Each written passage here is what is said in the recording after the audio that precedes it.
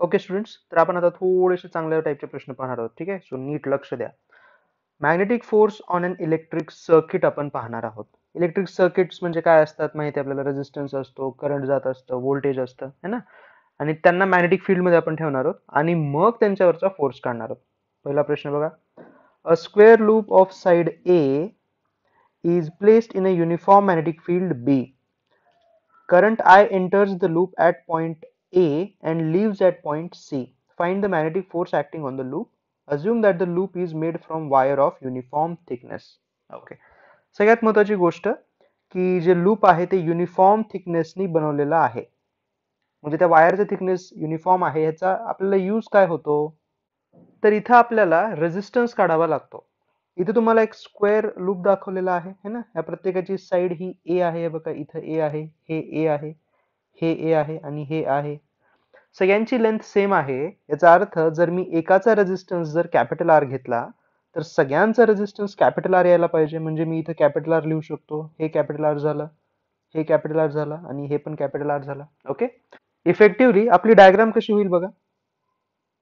हा तुमचा ए पॉइंट हा तुमचा सी पॉइंट आणि जे करंट जाणार आहे हे बघा हे असं इथून एंटर करणार आहे हे करंट असं हे आय करंट इथून एक्झिट करणार होतं हे करंट आय आणि याला ए पासून सी पर्यंत जाण्यासाठी दोन पाथ आहेत. बघा हा एक पहिला पाथ हा एक दुसरा पाथ. हे सेंटर पॉइंट डी असेल आणि हा सेंटर पॉइंट बी असेल. ओके तर ए डी सी पाथचा रेजिस्टन्स आपण टू आर लिहू शकतो है ना? आणि एबीसीचा पण रेजिस्टन्स हा टू आरच होईल. कारण की प्रत्येक पॉइंट प्रत्येक साईडचा रेजिस्टन्स मी कॅपिटल आर सांगितला होता म्हणजे अज्युम केला होता. त्यामुळं एडीसीचा रेजिस्टन्स टू आर एबीसीचा रेजिस्टन्स पण टू आर आता इथून हे करंट ए ला आलेलं करंट आय वन आणि आय टू मध्ये डिवाइड होईल. आय वन आणि आय टू हे दोन पॅरल रेजिस्टन्स जे लागलेले आहेत टू आरचे त्यांच्यामधून जाणारे करंट्स आहेत. आय वन आय टूच्या व्हॅल्यू आपल्याला काढता येतील का? जर तुम्हाला लक्षात असेल पॅरल रेझिस्टन्सचा हा फॉर्म्युला असतो. I one is total current into second resistance divide by R one plus R two बघा आय वनची व्हॅल्यू येईल. आय इंटू आर टूची व्हॅल्यू टू आर आहे. आर वनची पण व्हॅल्यू टू आर आहे. सो जेव्हा आपण या व्हॅल्यू टाकू आपल्याला लक्षात येईल की आय वन हा आय बाय टू आहे. मग सिमिलरली आय टूची पण व्हॅल्यू आय बाय टू असेल ना? म्हणजे हे दोन्हीही करंट आय वन आणि आय टू हे दोन्हीही करंट आय बाय टू आहेत. इक्वल आहेत आणि ओरिजिनल करंटच्या हाफ आहेत. इथपर्यंत आपण आलोय आता पुढे जाऊयात. आपल्याला आता इथपर्यंत करंट भेटलेले आहेत. आता आपण फक्त एडीसी बद्दल विचार करूयात. For A D C path फक्त या एका पाथबद्दल सध्या आपण विचार करू. बघा बरं. हा ए पॉइंट इथं हा सी पॉइंट इथं है ना? आणि नाईन्टी डिग्री मध्ये डी पॉईंट आहे. पण आपण काय करूयात? आपण आपली ट्रिक वापरूयात आणि ए पासून सी पर्यंत एकच स्ट्रेट वायर दाखवूयात. हे बघा हे तुमचं असं डी पॉइंट इथं होता. आणि सी पॉइंटला हे इकडं असं नाईन्टी डिग्री होणार होतं. करेक्ट आणि याच्यातून जाणारं करंट आय बाय टू होतं. तेही डायरेक्ट दाखवून देऊ आपण. आय बाय टू है ना? तर एसी जो आहे त्या एसीची लेंथ किती होईल? पायथागोरसचा जर तुम्ही वापर केला तुम्हाला हे सांगता येईल की याची length root two A times होते. ए पासून सी पर्यंत ओके मग आपल्याला इथं फोर्स लावणं खूपच इझी होतं बघा आता. फोर्स काय असतो? करंट करंटची व्हॅल्यू आहे I by two length length आहे root two A I L B B magnetic field आहे तुमचं. आणि साईन थीटा लेंथ आणि मॅग्नेटिक फील्डमध्ये अँगल नाईन्टी आहे.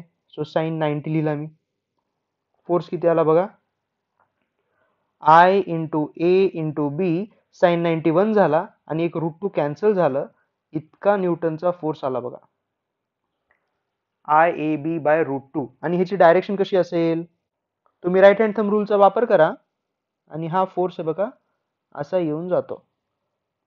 हा फोर्स कुणावरती आहे? हा फोर्स आहे एडीसी पाथवरती करेक्ट आपला अजून एक पार्ट शिल्लक आहे. कोणता वाला खालून एक करंट जाणार होतं. आठवतं? ते जर मी इथंच काढलं हे बघा हे पॉइंट ए हा पॉइंट सी आहे आणि ते करंट असं जाणार होतं है ना? हे ए बी आणि मग सी कडे जाणार होतं हे. हा पॉइंट तुमचा बी असेल समजा. तर डायरेक्ट या दोन पॉइंटला आपण जर जॉईन केलं परत एकदा ए पासून सी कडं तर लेंथ एकदा परत एकदा रूट टू एच बनेल ना हो. याच्यातून जाणार करंट पण सेम असेल. हे बघा आय बाय टूच आहे. सेम डायरेक्शन आहे. तुम्हाला लक्षात येते का? की या सेकंड पाथवरती जो मॅग्नेटिक फोर्स लागेल तो पण परत एकदा सेमच असेल. म्हणजे हे दोन्हीही फोर्स सेम डायरेक्शनमध्ये लागणार आहेत. हे बघा या डायरेक्शनमध्ये. व्हॅल्यू पण सेम आहे. मग नेट फोर्ससाठी आपण काय करू शकतो? या दोघांना डायरेक्ट ऍड करा ना. बघा मग. नेट फोर्स असेल आपला two times F that will be two times I A B divided by root 2 and that will be root 2 times I A B. हे तुमचं आन्सर असेल आणि याची डायरेक्शन हे बघा आपण इथं ऑलरेडी दाखवलेली आहे. ही त्याची डायरेक्शन असली पाहिजे. करेक्ट तर आपण आता हा मोठा प्रश्न सॉल्व्ह केला आहे ना? मला तुम्हाला एक ट्रिक द्यायची आहे. ज्याच्यामध्ये एकदम इझिली आपला प्रश्न जो आहे तो सॉल्व्ह होऊ शकला असता है ना? तर ती ट्रिक मी इथं सॉल्व्ह करतोय. ऑलरेडी तुम्ही ही पाहिलेली आहे पण है ना? लक्षात नसेल तर काय सांगावं? बघूयात आपण काय आहे ही ट्रिक बघा. नेहमीचीच ट्रिक आहे. स्टार्टिंग पॉइंट घ्यायचा ए पॉइंट एंड पॉइंट घ्यायचा जिथून करंट बाहेर जात आहे हा सी पॉइंट हा पूर्ण लूप आला इथे है ना? आणि ह्या दोघांना कनेक्ट करणार एकच वायर असं टाकून द्या. हे असं. ज्याची लेंथ आपल्याला माहिती आहे आता रूट टू टाइम्स ए येऊन जाते. कारण ते डायगनल आहे ओके आता बघा. ए पॉइंट वरती इकडून बाहेरून आय करंट येत होतं. आणि हे करंट नंतर दोन पार्टमध्ये डिवाइड झालं होतं. हा तुमचा पहिला पोर्शन होता इकडे जाणारा. आणि हा तुमचा दुसरा पोर्शन होता. आणि आपण ह्या मागच्या मेथडमध्ये काय केलं? हे एडीसी साठी वेगळं काढलं मग खाली परत एबीसी साठी काढलं दोघं सेम आले एवढं सगळं मोठं केलं. मला तुम्हाला असं सांगायचं आहे की rather than doing all of these तुम्ही काय करा हे जे कॅपिटल आय करंट आहे ना हे पूर्णच्या पूर्ण ए पासून सी पॉइंट पर्यंत न्या.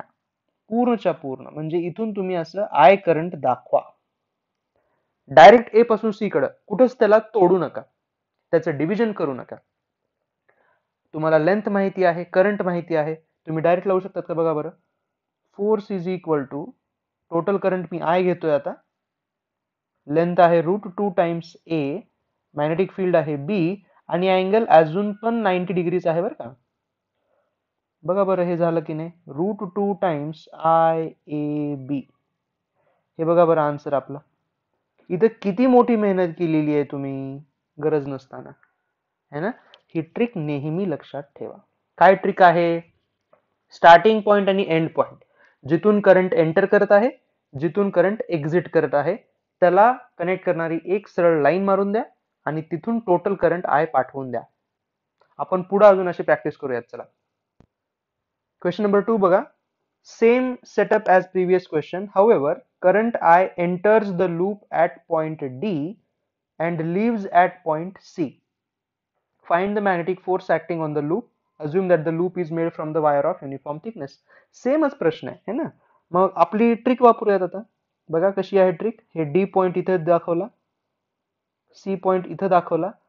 डी पासून सी पर्यंत सगळंच्या सगळं करंट एकत्र दाखवून द्या. That is capital A capital I D पासून सी पर्यंतची लेंथ तुमची ए असेल. बरोबर? ही लेंथ तुमची ए असेल अशी. मग तुमचा फोर्स काय झाला? मॅग्नेटिक फोर्स आय एल एलच्या जागी ए लिहिता येईल. मॅग्नेटिक फील्ड तुमचं बी आहे आणि साईन नाईन्टी करावं लागेल परत एकदा. सो एफ झाला सिम्पली आय ए बी झालं बघा आन्सर डायरेक्शन काय असेल? राईट हँड थंब रूलनी जर तुम्ही डायरेक्शन काढलात तर डीसी वायर वरती मॅग्नेटिक फोर्स हा हे बघा असा वर यायला पाहिजे. ठीक आहे? हा हेच फोर्स पूर्ण लूप वरती आपल्याला दाखवता येतो. काहीच हरकत नाही. हे फायनल आन्सर आहे ओके तुम्हाला अजून जास्त काहीच करायची गरज नाही. म्हणजे तुम्हाला आता हे करायची गरज नाही आहे बघा. हे इकडं आय वन दाखवा वेगळा. हा इकडं आय टू सेपरेट झाला. मग आय वन आय टू ची व्हॅल्यू काढावी लागेल. हे काहीही करण्याची गरज नाहीये एवढं मोठं काहीही करू नका वेळ नका वाया घालवू. तुमचा आन्सर एकदम इझी पद्धतीने येऊन जाईल. ट्रिक वापरा. Okay A circular loop of radius r is placed inside a uniform magnetic field B. Electric current capital I enters the loop at point P and exits diametrically opposite end Q. Then what is the magnetic force acting on the loop? बघा एकदा तर P पॉइंटला तुमचं current जे आहे ते loop मध्ये enter करत आहे आणि Q पॉइंटला एक्झिट करत आहे परत एकदा सेमच मेथड आहे ना काही वेगळे करायची गरज नाही. आपण फक्त प्रॅक्टिससाठी हे एक्स्ट्रा प्रश्न करतोय. बघा हा पी पॉईंट इथे लिहायचा हा पी क्यू पॉईंट इथे लिहायचा. पी आणि क्यू वरती एवढा फोकस मी का करतोय? कारण पी म्हणजे एंट्री पॉइंट आहे. हे एंट्री आहे आणि क्यू तुमचा एक्झिट आहे म्हणून. काही स्पेशल वेगळं नाहीये तुमच्यामध्ये. तिथून एंटर व्हायलंय क्यू मधून एक्झिट व्हायलंय. दॅट्स इट आता पी पासून क्यू पर्यंत एकच स्ट्रेट वायर अशी दाखवून द्या. करंटची डायरेक्शन पी टू क्यू असेल. करंट कॅपिटल आय असेल. पी पासून क्यू पर्यंतची लेंथ काय होईल? डायमीटर म्हणजे टू आर असेल. झालं. Force is equal to I length असेल टू आर मॅग्नेटिक फील्ड आहे बी आणि अँगल परत एकदा नाईन्टी डिग्री झालं. टू आय आर बी हे बघा हे झालं आन्सर ना? डायरेक्शन काय असेल याची? राईट हँड थंब रूल लावा एल तुमचा राईट साईडला आहे क्यू कडे आणि मॅग्नेटिक फील्डमध्ये आहे. मॅग्नेटिक फोर्स असा वर येईल बघा. है ना? हे मॅग्नेटिक फोर्स इथे असं नाईन्टी डिग्री झालं. ठीक आहे? व्हॉट अबाउट द लूप है ना? लूपमध्ये तर असं नव्हतं. लूपमध्ये दोन पार्ट होते. तर ह्या दोन पार्ट वरती कसा फोर्स लागतो बघा? ह्या वरच्या पार्ट वरती लागतो एफ अपॉन टू आणि या पार्ट वरती लागतो F upon two F upon two म्हणजे कुठलं कुठलं वन बाय टू करतोय मी? हे इथे जे एफ दाखवलेलं आहे मी. है ना? किंवा हा जो एफ इथं काढलेला आहे.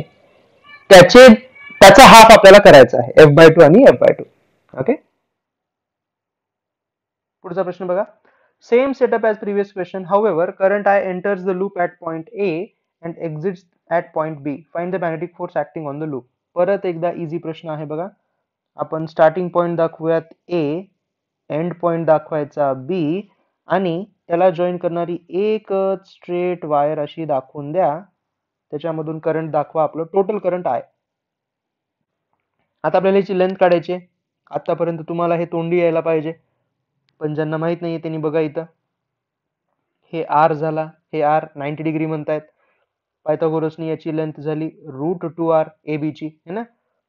फोर्स आला आय इंटू लेंथ असेल root two R into magnetic field असेल बी आणि साईन नाईन्टी झालं तुमचा answer root two I R B बघा. डायरेक्शन कशी असेल हो? According to right hand thumb rule तुमच्या ए बीला परपेंडिक्युलर हे बघा इकडे यायला पाहिजे हा फोर्स असा. ओके आणि लूपमध्ये म्हणजे ह्या सर्कलमध्ये कशी दाखवणार? तर हा जो छोटा लूप आहे त्याच्यावरती हे असा एक फोर्स लागेल. हे एफ वन लागेल इकडं. आणि मोठा जो आहे त्याच्यावरती पण याच डायरेक्शनमध्ये लागेल एफ टू तर हे झालं त्यांचं डायरेक्शन आणि F one plus F two याचं ऍडिशन जर केलं तर कॅपिटल एफ यायला पाहिजे. आता मी एफ वन आणि एफ टू हे सेम का नाही घेतले? है ना? मागच्या पार्टमध्ये आपण ते दोघं सेम दाखवले होते है ना? इथं का बरं सेम नाही घेत? तर त्याचं कारण आहे की एफ वन जो आहे हा या छोट्या पार्ट वरती लागणार आहे है ना? तर तिथून जाणार करंट म्हणजे या पार्ट मधलं करंट आणि या पार्ट मधलं करंट हे दोघं सेम नसतील बरं का? हे दोघं सेम नसतील आणि करंट सेम नसल्यामुळं करंट सेम नसल्यामुळं तुमचा फोर्स पण सेम नसेल. ठीक आहे? लेंथ सारखीच येईल बघा. ए पासून बी पर्यंतची लेंथ दोन्हीही लूपला एवढीच येणार आहे. म्हणजे रूट टू आरच येईल लेंथ पण बिकॉज करंट वेगळे आहेत. आणि करंट का बरं वेगळे आहेत? बिकॉज ऑफ द रेजिस्टन्स त्यांच्या लेंथ वेगवेगळ्या आहेत बघा ना. तर लेंथ मुळे रेजिस्टन्स बदलतो रेजिस्टन्स मुळे करंट बदलतं करंट मुळे फोर्स बदलतो. सो ऍक्च्युली ही तुमच्यासाठी एक असाइनमेंट म्हणून तुम्ही घेऊ शकतात एक्स्ट्रा असाइनमेंट की आय वन आय टूच्या व्हॅल्यू काय असाव्यात? What are the values of I one आणि आय टू तुम्हाला टोटल करंट जे आहे कॅपिटल आय है ना? कॅपिटल आयच्या टर्म्समध्ये आय वन आय टूच्या व्हॅल्यू काढता येतात का बघा आणि आपल्या कमेंटमध्ये टाकून द्या. ओके